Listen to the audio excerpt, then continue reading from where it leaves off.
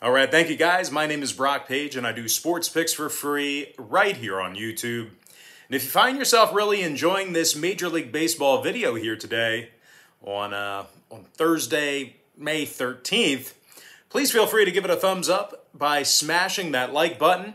And if you're new here and you haven't hit that subscribe button yet, please feel free to do that as well. I'd greatly appreciate it.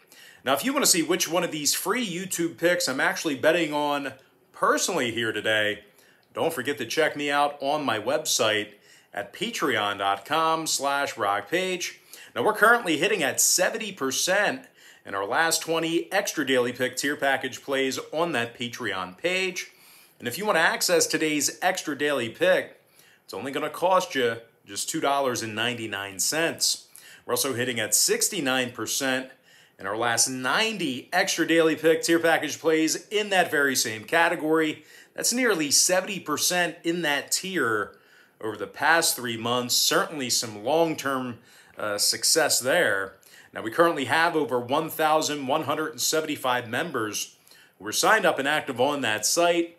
And if you want to join those folks and get in on the action, link for that page is in the description section below. And once again, that's patreon.com slash Brock Page. And with that, let's go ahead and dive into some action. Uh, only skipping one game today. Uh, we're skipping the noon game, but uh, we're going to start with the Phillies taking on the Nationals, 105 Eastern first pitch. Now, the Washington Nationals are minus a buck 10, totals 8, juice to the over. Patrick Corbin for the Nats, Zach Eflin for the Phils. Eflin's looked real good this season. 2 and 1 record with a 338 ERA and a 1.13 whip. Now, the Phillies are on a two game winning streak, both of those victories coming against Washington. They also got the W in seven out of their last nine. The Phils currently have the third most wins in the National League. They're taking on a national squad who's six games below 500. They find themselves in last place in the NL East. Washington's in the bottom three in scoring uh, on average per game, and they're also averaging just 3.2 runs per contest at Nationals Park. Now, Patrick Corbin's also looked shaky on the bump, just 1 and 3 with a 7.36 ERA and a 1.53 whip. When it comes to the total in this one, Washington saw 13 out of their 50, uh, I'm sorry, 13 out of 18 home games stay under the line. The Nats are officially 69% to the under overall for the season. I'm going to lean toward the Philadelphia Phillies minus 110 and the under eight runs. Next game, Royals Tigers 110 Eastern start time. The Detroit Tigers are minus 120, numbers nine flat. Don't see uh, the Tigers uh, favored much. Uh, Spencer Turnbull for Detroit, Daniel Lynch for Kansas City. But as bad as Lynch and the KC Royals have looked here recently, we're still looking at a Kansas City squad who has a winning road record. This Kansas City lineup is also in the top five in uh, fewest strikeouts at the plate. They're taking on a Detroit squad who's still tied for the fewest wins in the majors. They're currently 12 and 24 for the season, and they rank dead last in scoring. Now, the Tigers average just 3.4 runs a game, and they strike out nearly 11 times per contest as well. Spencer Turnbull comes into today's start with a 1 2 record and a 474 ERA. Now, total wise, the Tigers are 11 and 6 to the under at Comerica Park. Kansas City's seen nearly 70% of their road games stay under the line as well. I'm going to lean toward the underdog Kansas City Royals plus 105 and the under 9 runs. Next contest Cardinals Brewers 140 Eastern Standard Time. The Milwaukee Brewers are minus 140, number 6.5. Corbin Burnes for the Brewers, Jack Flaherty for St. Louis. The Flaherty's a perfect 6 0 with a 293 ERA and a .94 whip. The Cardinals are still in first place in the NL Central with a 22 and 15 record. This Cardinals uh, lineup is also in the top five in the league in road scoring. Nolan Arenado has hit six homers and knocked in 23 for St. Louis. Arenado's also got 19 extra base hits. Meanwhile, Dylan Carlson's scored 23 times already and has 56 total bases. Now they're taking on a Milwaukee team who lost seven out of their last 10, and they strike out 10.2 times a game. This Brewers lineup also ranks in the bottom five in hits. Now, total wise, 11 out of Milwaukee's 18 games at Miller Park got over the line. Meanwhile, the Cardinals are 10 and 7 to the over when they bat first. I'm going to lean toward the St. Louis Cardinals plus one and a half and the over six and a half runs. Next ball game, Twins versus the White Sox, 210 Eastern first pitch. The Chicago White Sox are minus 140, total seven and a half juice to the under. Lance Lynn for the White Sox, Michael Pineda for Minnesota. But as good as Pineda's looked this year, we're looking at a Twins team who's tied with Detroit for the fewest wins in Major League Baseball. Minnesota's just 12 and 22 overall for this season, they've gotten the W in just 6 of 17 road games. The Twins lineup is averaging nearly double digit strikeouts a game when they travel. They're taking on a White Sox club who's got Lance Lynn on the bump for him today. 3 1 record with a 152 ERA and a .98 whip. Chicago's in first place in the AL Central with a 21 13 record. Their pitching staff is also in the top three in the league in fewest runs allowed at home. Now, total wise, Chicago's last four straight all got over the total of seven and a half runs. Seven out of their last 10 contests got over that number as well. Meanwhile, on the other side of things, Minnesota saw their last four straight get over the seven and a half themselves. Minnesota's officially 13 and 4 to the over when they bat first. I'm going to lean toward the Chicago White Sox minus 140 and the over seven and a half runs. Next matchup, it is going to be Giants versus the Pirates, 6:35 Eastern start time. The San Francisco Giants are minus 160, totals eight. Anthony DeSclafani for San Francisco, Wil Crowe for Pittsburgh. The Crowe's walked nine batters in just over 15 innings pitched.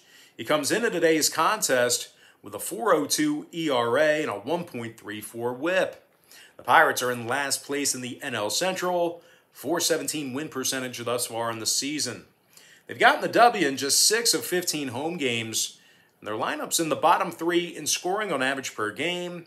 They're taking on a giant club who went 4 1 straight up in their last five. 12 and 6 in their last 18 run line plays as the away team as well. The San Francisco pitching staff is in the top five in hits allowed, and they give up just three and a half runs a game. Anthony DeSclafani's 2 and 1 with a 2.40 ERA and a .94 whip. When it comes to the total in this one, five out of San Francisco's last eight ball games got over the total of eight runs. The Giants are officially 10 and 8 to the over as the road team. Meanwhile, the Pirates have gone 60% to the over at PNC Park this season. I'm going to lean toward the San Francisco Giants minus 160 and the over 8 runs. Next matchup, it is going to be A's versus the Red Sox, 7:10 p.m. East. The Boston Red Sox are minus 120, totals 9 flat. Garrett Richardson for the Bo Sox, Sean Manaea for Oakland. The Manaea is 3 and 1 with a 3.07 ERA and a 1.07 whip. The lefties also struck out 43 batters in just 41 innings of work. The A's are currently on a two game winning streak, 4 and 1 straight up in their last five. They've also won 10 of 14 on the road this year, and they have sole possession of first place in the AL West. They're currently two and a half games ahead of the Astros in the standings. They're taking on a Boston club who's on a three game losing streak, and they scored just four total runs during that span. Now, Boston also has a losing home record this year, and their pitching staff is in the bottom 10 in runs allowed at home. Garrett Richards comes into today's start with a 4.54 ERA and a 1.46 WHIP. When it comes to the total in this one, Boston's last four straight all stayed under the total of nine runs. Meanwhile, the A's are officially 10 and 4 to the under as the road team. I'm going to lean toward the underdog Oakland A's plus a dollar in the under nine runs. Next contest I have for you, it is going to be Yankees versus the Rays, and that's going to be a 7:10 Eastern first pitch. The New York Yankees are minus 135, totals 8 flat. Jameson Taillon for the Yankees, Rich Hill for Tampa Bay. The Hill's gotten just one win on the season after 31 innings of work. He comes into today's start with double digit walks and a 517 ERA. Now, the Rays also have the second fewest home wins in the entire American League. They're just 7 and 12 straight up at the Trop, and their lineup strikes out more than any other team in the game. Now, even worse than that, the Rays are currently dead last in the majors in home scoring. They're taking on a New York squad who's on a four game winning streak. And in addition to that, they also got the W in 11 out of their last 14 ball games. Certainly a nice stretch for New York after a very slow start to the uh, 2021 campaign. Now, this Yankee pitching staff has the most strikeouts per game on average in the league. They also allowed just 3.4 runs per contest on the road. Jameson Taillon struck out 34 batters in just over 28 innings of work. When it comes to the total in this one, 11 out of New York's 16 road games stayed under the line, 23 and 13 to the under for the entire season. Meanwhile, the Rays are 12 and 7 to the under as the home team. I'm going to lean toward the New York Yankees minus 135 and the under 8 flat. Next matchup, it is going to be Rangers versus the Astros, 8:10 Eastern Standard Time. The Houston Astros are minus two dollars. Totals eight and a half. Cristian Javier for Houston, Mike Foltynewicz for Texas. Now Folty's just one and three with a 4.50 ERA. This Ranger pitching staff is in the bottom three in hits allowed. They currently find themselves on a two-game skid. They're taking on a Houston club who won five out of their last seven themselves. They currently lead the majors in hits. Yuli Gurriel has 44 hits on the season. He's batting 333 with seven homers along with 30 RBI, which is actually in the top five in the bigs. Meanwhile, Yordan Alvarez has hit seven home runs himself, along with 22 ribbies. The outfielder is currently batting 347 at the plate, which is fourth in the majors. This Astros lineup also strikes, uh, they strike out less than any other team in uh, baseball. When it comes to the total on this one, Houston's 22 and 15 to the over for the entire year. Texas is 11 and 8 to the over when they bat first. I'm going to lean toward the Houston Astros minus one and a half and the over eight and a half runs. Next ball game, it is going to be Reds versus the Rockies, 8:40 Eastern Standard Time. The Cincinnati Reds are minus 145, totals 11. Luis Castillo for the Reds, Chichi Gonzalez for Colorado. But as bad as Colorado's been this year, they still have a winning home record. And they've gone 12 and 9 against the number at Coors Field. And of course, when I'm referring to the number, uh, I am referring to the run line. Now, the Rockies are in the top five in home scoring, top 10 in home hits.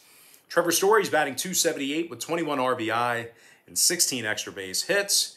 Meanwhile, Ryan McMahon has hit eight homers and knocked in 23. They're taking on a Reds club who struggles on the road. They've won just 7 of 17 as the away team. They failed to cash in on the run line 10 times during that span. Now, the Reds are averaging just 3.5 runs a game when they travel. They've got Luis Castillo on the bump here today, who, I'm not going to sugarcoat it, he's been pretty bad to start the season. The righty's just 1 and 4 in the year with a 6.42 ERA and a 1.63 whip. When it comes to the number in this one, uh, Cincinnati did get, uh, they did go 11 and 6 to the over in their 17 road games. They're officially 23 and 11 to the over for the entire season. So I'm going to lean toward the Colorado Rockies plus one and a half and the over 11 runs. Next matchup, Marlins D-backs 940 Eastern start time. The Miami Marlins are minus 130, numbers eight and a half. Trevor Rogers for Miami, Merrill Kelly for Arizona. But as bad as Kelly's looked, Arizona's beat uh, beat Miami in two out of the series three games already.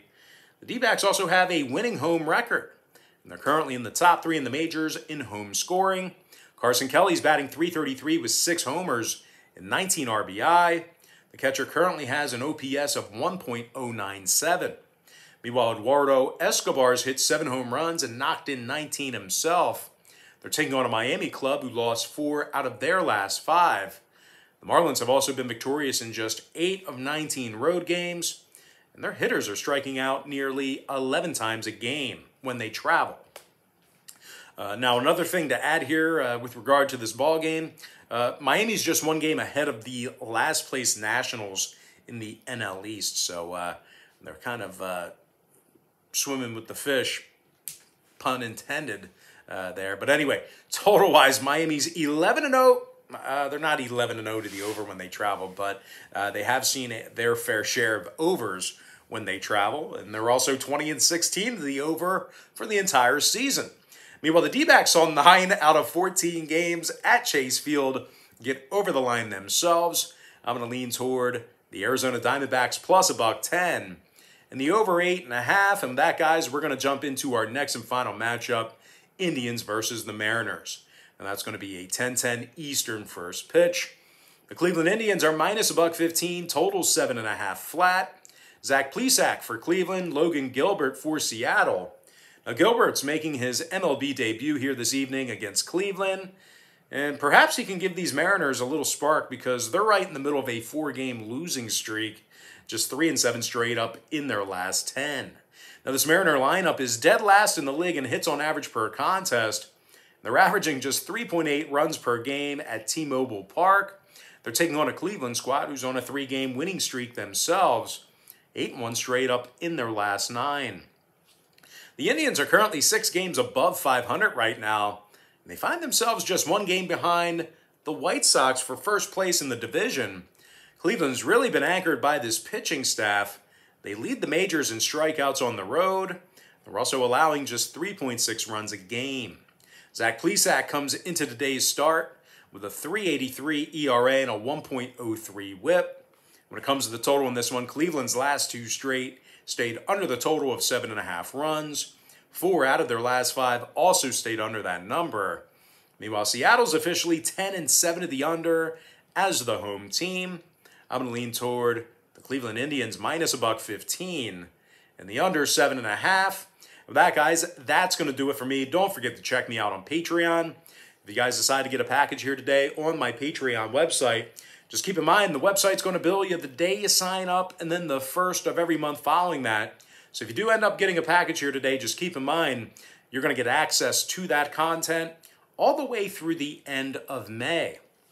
But most importantly, guys, got to thank you for joining me right here on YouTube. Really hope you enjoyed all this great free content, all this great free information. And with that said, happy Thursday to you. Best of luck to you. And I look forward to seeing you later on today on my website at patreon.com slash Brock Page.